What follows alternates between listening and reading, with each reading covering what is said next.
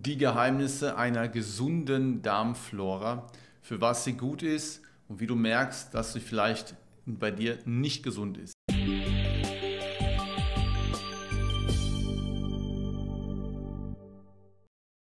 Hier ist Matthias von die Praxis Family und heute geht es rund um das Thema Darmflora und was es für dich bedeutet.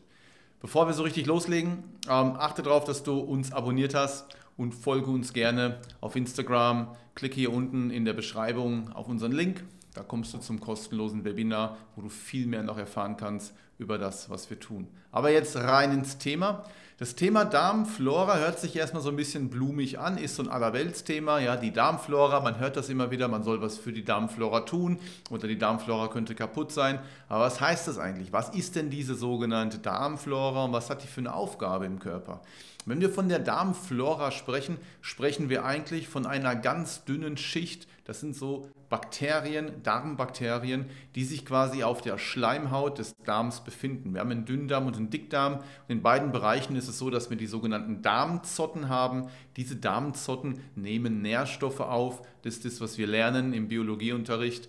Und unsere Nährstoffe werden quasi verdaut durch die Speichel im Mund, durch die Magensäure und die Verdauungssäfte aus der Bauchspeicheldrüse und der Leber im Dünndarm. Und dann sind die irgendwann so gut aufgeteilt und vorverdaut, dass unsere Darmzotten das aufnehmen. So zumindest ist unser Glaube. Das stimmt aber so nicht, denn das, was wirklich passiert, ist folgendes Geheimnis in Anführungszeichen. Diese Darmbakterien, die eine millimeterdicke Schicht bilden, komplett quasi wie so ein Schleim äh, im Darm an der Darmwand, an den Darmzotten. Diese Darmbakterien, die essen das vorverdaute Essen und wandeln es um und scheiden dann die Sachen aus, die wir brauchen. Entsprechende Aminosäuren, Vitamine, Mineralien und das kann der Darm dann aufnehmen. Das heißt, unser Darm nimmt nicht direkt eins zu eins den Nährstoff, den wir essen, direkt auf, sondern es geht immer durch diesen Bakterienfilter durch. Die verarbeiten das, arbeiten damit und wir nehmen Nährstoffe auf. Das ist auch das erste Thema. Wenn die Darmflora nicht optimal passt, dann kann es tatsächlich sein, dass wir nicht optimal Nährstoffe aufnehmen. Es kann also sein, dass die Themen in unserer Gesundheit, die mit Nährstoffmangel zu tun haben, genau daran liegen. Wenn du also jemand bist, der zum Beispiel über Blutwerte feststellt, ich habe zu wenig Eisen, zu wenig Zink, zu wenig was auch immer, Magnesium, dann kann das an der Darmflora liegen. Wenn du dich chronisch müde fühlst, wenn du erschöpft bist, wenn du ähm, nicht klar denken kannst, wenn, dein, wenn du das Gefühl hast, du bist dauermüde, dein Gehirn hat so einen Brain Fog, ähm, dann ist ein Hinweis darauf, dass du Nährstoffmangel hast, was an der Darmflora liegen kann. Wenn du ähm, Gelenkschmerzen kriegst oder Probleme mit der Muskulatur hast, mit den Faszien, ist es ein Hinweis darauf, dass bestimmte Nährstoffe fehlen und das kann an der Darmflora liegen. Wenn du zum Beispiel merkst, dass dein Nervensystem nicht so gut funktioniert oder du hast so Zuckungen in den Augen und in den Muskeln ähm, oder du spürst seltsame Empfindungen an den Armen, es kribbelt so ein bisschen komisch, dann ist das ein Hinweis, dass möglicherweise Nährstoffe fehlen und das kann an der Darmflora liegen. Das heißt, in all diesen Bereichen kann es an der Darmflora liegen.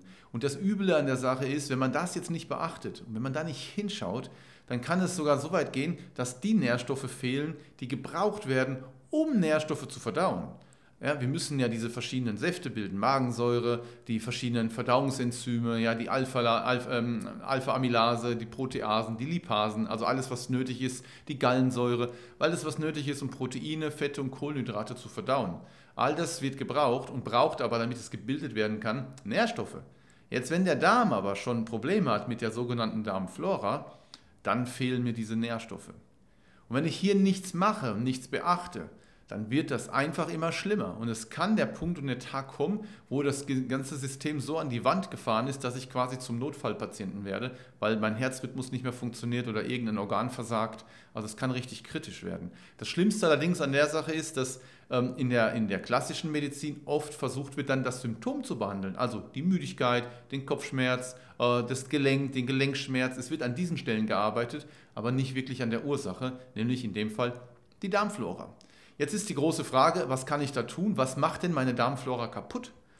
Und das ist genau das, was es so schwierig ist herauszufinden. In der klassischen schulmedizinischen Variation findet man das kaum raus. Man kann zwar eine Stuhlprobe nehmen, man kann auch mal Blut untersuchen, Man kann auch eine, ähm, eine Speichelprobe nehmen oder mal einen Ultraschall machen, aber das sagt alles nur wenig aus. Am nächsten ist noch die Stuhlprobe dran, ähm, weil die kommt aus dem Darm, aber auch hier erfahre ich nicht, wie geht es meiner Darmflora.